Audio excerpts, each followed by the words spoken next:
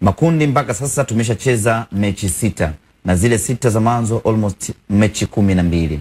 Katika mechi kumi na mbili ambazo tumecheza hatujapokea hata onyo lolote kutoka CAF kwenye aspect yoyote, aspect ya nidhamu, aspect ya uwanjani, wala kwenye upande wa mashabiki kwamba kuna violation yoyote ambayo tumefanya. Hata masharti ya COVID 19 tumeyafuata kwa asilimia mia moja na CAF wameridhika. Kwa hiyo eh, kelele za watu wa hovyo hovyo kwamba wanafanya 1 2 3 hayo ni maneno ya mkosaji.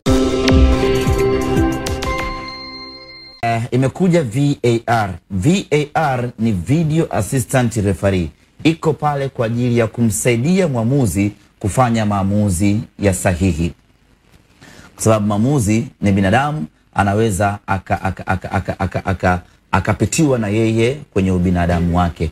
Kwa hiyo e, ukirejea sasa e, mwenendo wa Simba hadi kufika hatua hii, tuangalie tu hatua ya makundi peke yake.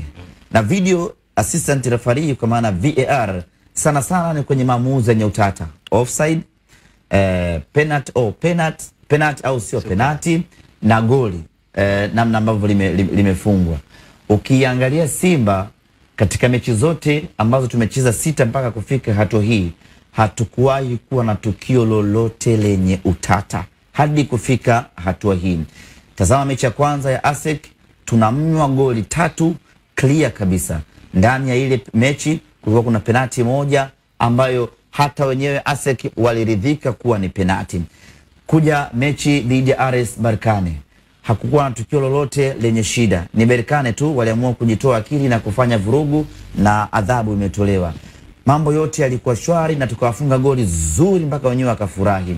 Tuje mechi dhidi ya Gendarmerie tukawapigia mpira mkubwa, magoli mengi, hakuna shida, wameondoka wamefurahi kweli kweli, wale wa jamaa kutoka Niger, namna ambavyo e, tumewachezea.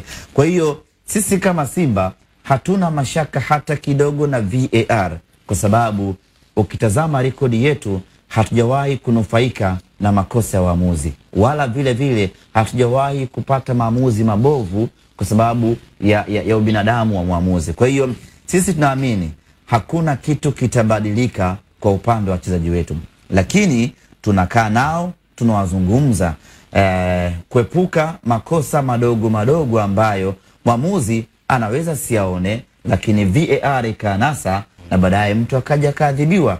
Uh, kwenye mchezo kuna ujanja ule wa, wa, wa, wa, wa, wa mchezaji uh, anaweza akautumia huo ujanja ambao akamhadaa mwamuzi, lakini huyu mwamuzi ambaye angemhadaa sasa hivi anasaidiwa na teknolojia, kwa ile hada yake inaweza isifanye kazi. Kwa hiyo tunawakumbushana nao, tunawaambia tunawaambia namna ambavyo wanapaswa kubehave tofauti kwa sababu ya uwepo wa hii VAR. Na kizuri sasa, wachezaji wa Simba ni matured enough, ni wachezaji ambao wanafahamu nini cha kufanya kwa timu yao, ni wachezaji ambao wanafahamu nini wanapaswa kufanya kwenye kila mazingira. Hawana ushamba na VAR, hawana ushamba na robo fainali, wanaelewa nini cha kufanya, na hiko ndicho kitu pekee ambacho sisi kama Simba tunajivunia kwao.